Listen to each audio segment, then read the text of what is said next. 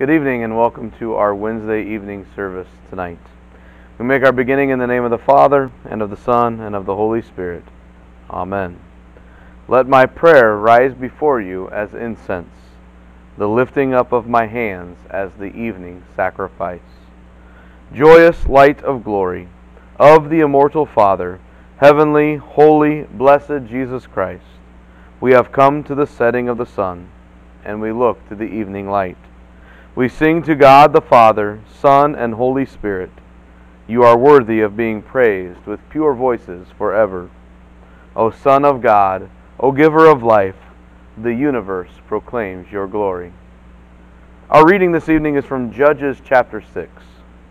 The people of Israel did what was evil in the sight of the Lord, and the Lord gave them into the hand of Midian seven years. And the hand of Midian overpowered Israel, and because of Midian the people of Israel made for themselves the dens that are in the mountains, and the caves, and the strongholds. For whenever the Israelites planted crops, the Midianites and the Amalekites and the people of the east would come up against them. They would encamp against them and devour the produce of the land as far as Gaza, and leave no sustenance in Israel, and no sheep, or ox, or donkey. For they would come up with their livestock and their tents. They would come like locusts in number. Both they and their camels could not be counted. So that they laid waste the land as they came in. And Israel was brought very low because of Midian. And the people of Israel cried out for help to the Lord. When the people of Israel cried out to the Lord on account of the Midianites, the Lord sent a prophet to the people of Israel. And he said to them, Thus says the Lord, the God of Israel I led you up from Egypt and brought you out of the house of bondage. And I delivered you from the hand of the Egyptians and from the hand of all who oppressed you, and drove them out before you, and gave you their land. And I said to you, I am the Lord your God. You shall not fear the gods of the Amorites in whose land you dwell. But you have not obeyed my voice. Now the angel of the Lord came and sat under the terebinth at Ophrah which belonged to Joash the Abiezrite, while his son Gideon was beating out wheat in the winepress to hide it from the Midianites. And the angel of the Lord appeared to him and said to him, The Lord is with you, O mighty man of valor. And Gideon said to him, Please, sir, if the Lord is with us, why then has all this happened to us? And where are all his wonderful deeds that our fathers recounted to us, saying, Did not the Lord bring us up from Egypt? But now the Lord has forsaken us and given us into the hand of Midian. And the Lord turned to him and said, Go in this go in this might of yours, and save Israel from the hand of Midian. Do not I send you? And he said to him, Please, Lord, how can I save Israel? Behold, my clan is the weakest in Manasseh, and I am the least in my father's house. And the Lord said to him, But I will be with you and you shall strike the Midianites as one man. And he said to him, If now I have found favor in your eyes, then show me a sign that it is you who speaks with me. Please do not depart from here until I come to you and bring out my present and set it before you. And he said, I will stay till you return. So Gideon went to his house and prepared a young goat and unleavened cakes from an ephah of flour. The meat he put in a basket, and the broth he put in a pot, and brought them to him under the terebinth, and presented them. And the angel of God said to him, Take the meat and the unleavened cakes, and put them on this rock, and pour the broth over them. And he did so. Then the angel Lord reached out the tip of the staff that was in his hand, and touched the meat and the unleavened cakes, and the fire sprang up from the rock, and consumed the flesh and the unleavened cakes and the angel of the Lord vanished from his sight. Then Gideon perceived that he was the angel of the Lord. And Gideon said, Alas, O Lord God, for now I have seen the angel of the Lord face to face. But the Lord said to him, Peace be to you. Do not fear. You shall not die.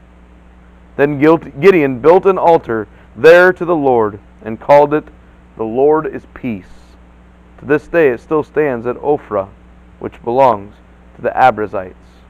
This is the word of the Lord. Thanks be to God. We continue with our hymn.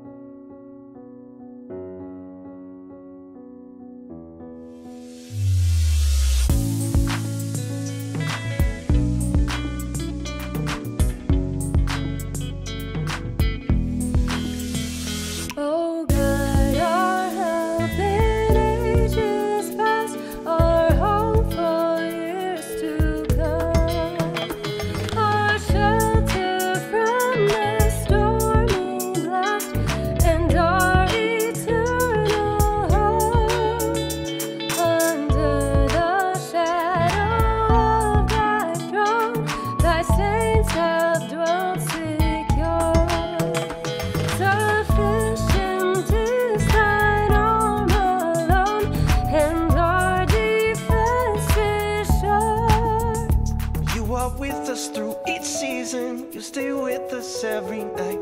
In your arms we find our healing. You defend us in the fight. Through the past and in the present, you are with us every day. King of kings until forever, Lord. To you our voices raise.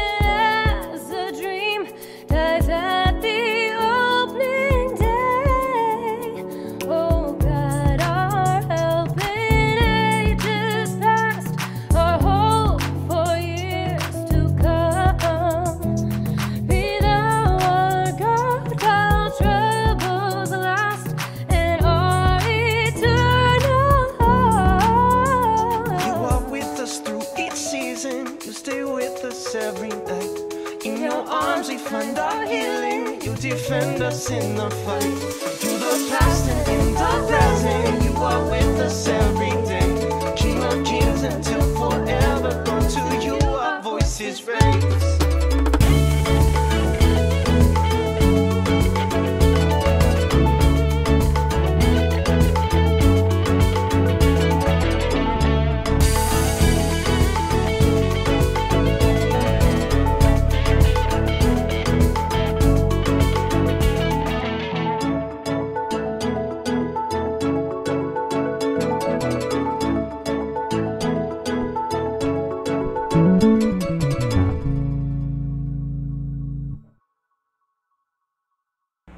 Grace and peace be you from God our Father and His Son, our Lord and Savior Jesus Christ. Amen. As we begin a new ser- sermon series this Wednesday evening, I thought back to our sermon last week on don't worry, be happy, and how we worry. And I thought of another Old Testament figure who was also a worrier, but God made a warrior. So, for the next three or four weeks, we're going to look at the book of Judges as we look at the life of Gideon. Now, most of us have watched Superman or read the Superman comic books. And if you look at Superman from the eyes of Lois Lane as Clark Kent, the fumbling, bumbling, timid reporter at the Daily Planet newspaper, what you see is a worrier. Somebody that's too wimpy for her taste. But we also know that Clark Kent was not just that reporter, but he was also Superman. That man of steel who was Lois Lane's idea of a warrior who she fell in love with, not knowing that he was also Clark Kent, the fumbling, bumbling reporter. This loser she saw was, in fact, a leader. Had Superman comics been around the time of Gideon, some 3,150 years ago, this Hebrew man, Gideon, would have identified with both Clark Kent and Superman. Now, it's not that Gideon flew around Israel in tights, but he did win some spectacular victories over the enemy of God's people. In fact, God even calls him a mighty warrior. But as we begin to look at Gideon, we also see that there was this Clark Kent side to him. He was a huge worrier.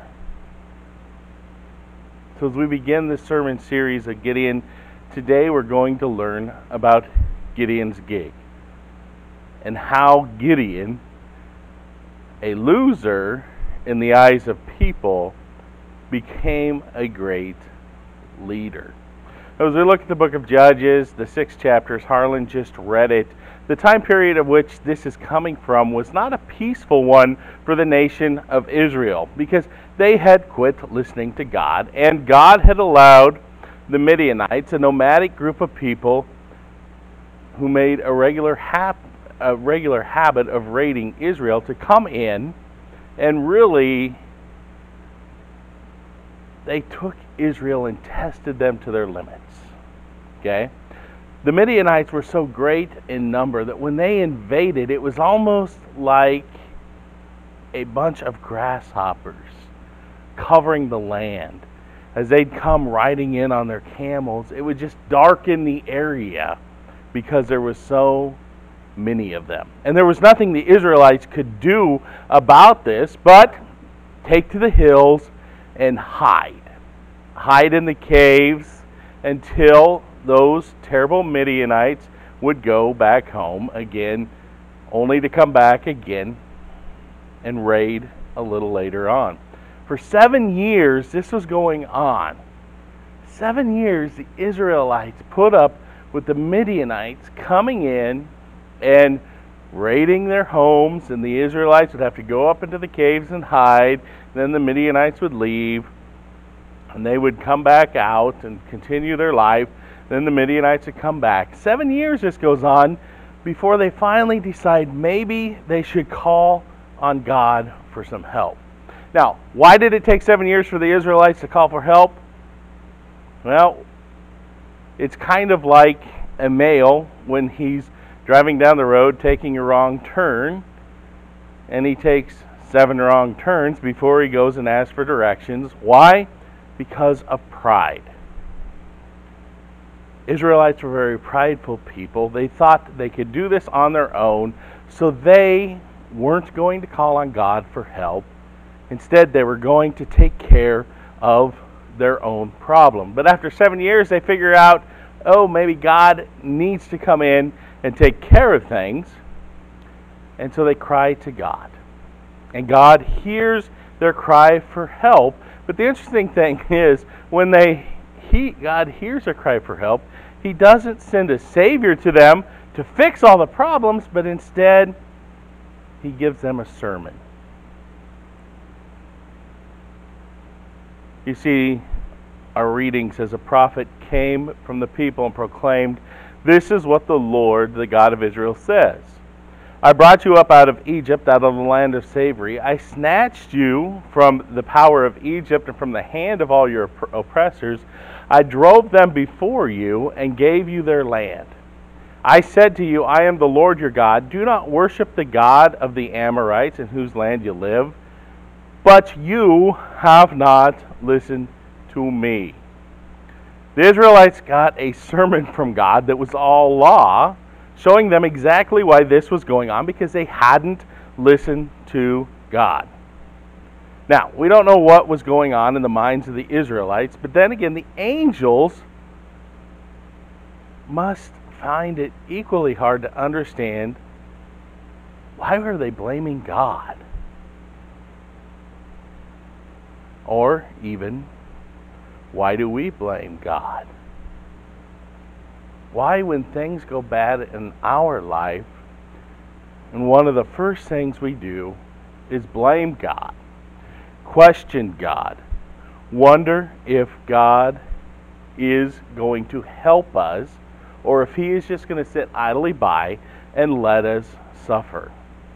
Now, we all know that it's because of our sins of selfishness that contribute to the difficulties, and yet we have the gall to suggest that it's God's fault for letting these things happen. We love to blame God for how bored we are with life. And then we use that for an excuse to how we spend our free time in our own sinful pursuits. Even when life gets difficult as a result of our sins, it is difficult for us to turn to God for help. This help which He offers us in His Word. Instead, what do we do but be like the Israelites were at this time and try to fix things on our own? Now, we're going to see for the Israelites in Gideon's day that that didn't work out too well. That they, they spend a considerable time in the dark, wet caves thinking that this was the only way they could find safety from the Midianites. After all that God had given them as He gave them this promised land, how could they forget this? But forget it is what the Israelites did.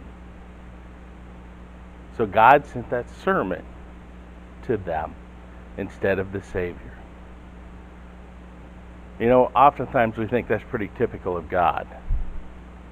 Because we picture God at times as this nagging, I told you so parent that is going to prove us wrong and then tell us exactly why we were wrong because we didn't listen to them. But when God told them so, it was because the Israelites needed to be confronted with their sins and then led to repentance for them. Because only after the confrontation that God has with them, after He shows them their sins, then they can appreciate what He was about to do for them. And what did God do? God sends an angel of the Lord. Now, oftentimes when we see the angel of the Lord being sent in the Old Testament, it's used for the Son of God. And oftentimes we see that as the pre incarnate Christ. And this angel of the Lord went from north central Israel, not far from Nazareth, and he plunks himself down under an oak tree, and he begins to watch a man named Gideon separate wheat kernels from their husks. And the angel of the Lord says to Gideon, The Lord is with you, mighty warrior. Now, that was too much for Gideon. Just his greeting was too much for Gideon. Because Gideon blurts out, But sir, if the Lord is with us, why is this happening to us? Where are all of his wonders that our fathers told us about when they said, Did not the Lord bring us up out of Egypt?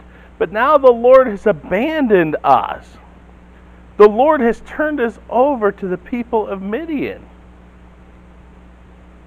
Now, evidently, when God preached that sermon to the Israelites, Gideon was one of them sleeping in the pews because he certainly didn't hear the message God sent to them.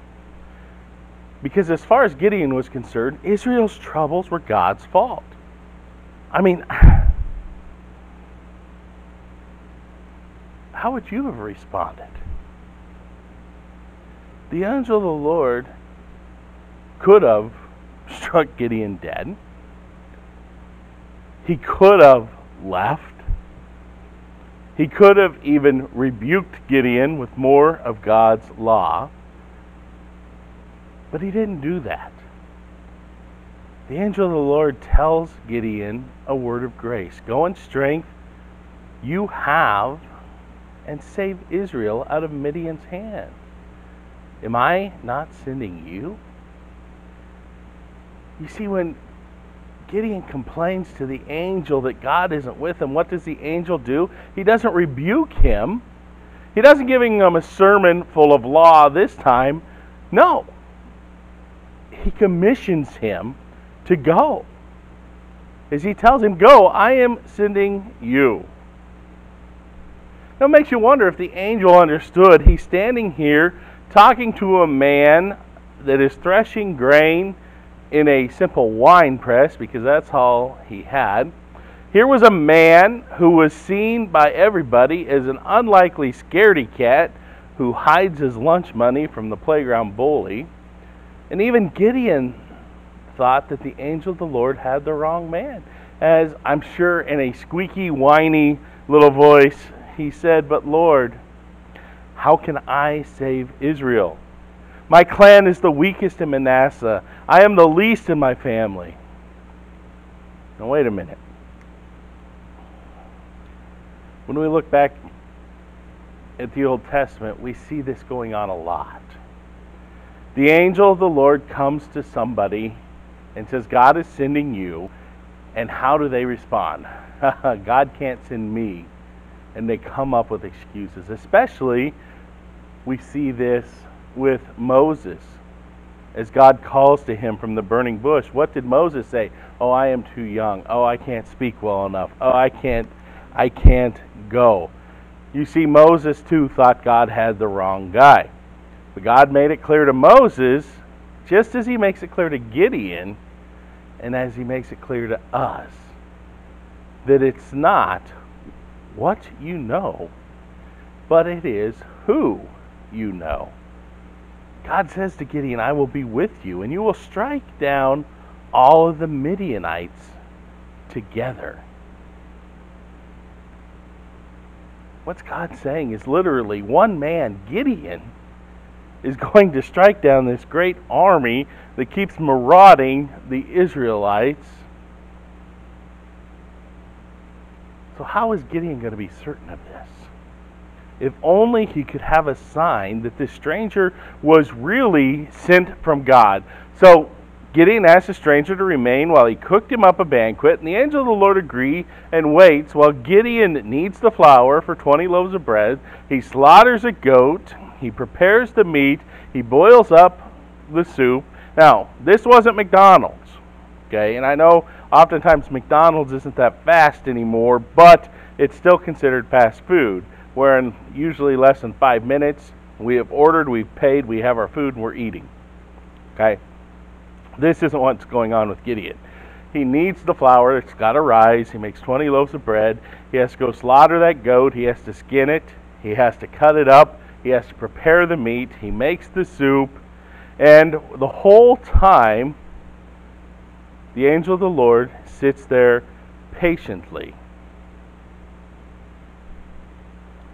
Now, that in itself is a response of grace. It's a response of grace because, you know, the angel of the Lord, he didn't need that offering. He didn't have to wait around, but he did. He did it to let Gideon show his love for him. It's kind of like as some days we are getting ready to walk out the door, and somebody hollers, Just wait a second, I have something for you. And we stop and we patiently wait until they can give us this item. Now, and also, it's not like the angel of the Lord, our God in heaven, isn't omnipresent. So it's not like he didn't have all the time in the world for each of us. So he waited. And he waited for Gideon to prepare the meal. And when Gideon had finished his preparation, the angel of the Lord tells him to put the food on the rock where he touched it, where he has him touch it with his staff, and instantly a fire consumes everything. And when that fire consumes everything, the angel of the Lord disappears. And Gideon cries out, I have seen the angel of the Lord face to face. And he also knew that nobody looked to the face of God and could live, so he knew he is going to die. But what does God say to Gideon? Do not be afraid. You're not going to die. Peace be with you. Gideon was so struck by the answer that what he does is he builds an altar right there and he names it The Lord is Peace. Gideon had asked for a sign, and there he got it. And that sign was a sign of peace. Oftentimes we look for that same sign from God. We look for a sign of peace. We look for a sign of comfort. We look for a sign of hope. And honestly, it's right there for us. All we have to do is look at the cross. Because on that altar, God sacrificed his son to pay for our sins. That cross, which means agony, that cross, which means death, that cross, which meant hell, means peace. It means joy. And it means eternal life for us. We didn't need a dazzling display of glory to convince us of God's love. In fact, that display would only frighten us as it did for the disciples when they saw Jesus transfigured before him. But there at the cross, we're assured that everything is right between God and us. And that cross is also God's solemn seal that He promises certain things to us, and those promises can be trusted. So, what happened to Gideon? How does that warrior become a warrior? Well, you'll have to take part in our service next week to find out. But one thing you don't have to wait until then to know is there's no reason for us to be warriors. We have constantly been reminded that we have a God who listens to us and hears our cries for help. And how does he answer them? Through the promises he gave us in Scripture. But God sends us more than a sermon. He sent us that Savior in the person of Jesus. Jesus, the angel of the Lord, who says to us, Be at peace. I died for you. I now live for you. you. So we are at peace as warriors for God because our Lord is indeed with us. Amen. Let us pray together the prayer that Jesus taught us. Our Father, who art in heaven, hallowed be thy name. Thy kingdom come, thy will be done on earth as it is in heaven. Give us this day our daily bread, and forgive us our trespasses, as we forgive those who trespass against us. And lead us not into temptation, but deliver us from evil. For thine is the kingdom, and the power, and the glory, forever and ever. Amen. Lord Jesus, stay with us, for the evening is at hand, and the day is past. Be our constant companion on the way, kindle our hearts, and awaken hope among us, that we may recognize you as you are revealed in the Scriptures and in the breaking of the bread. Grant this for your name's sake. Amen. And let us bless the Lord. Thanks be to God.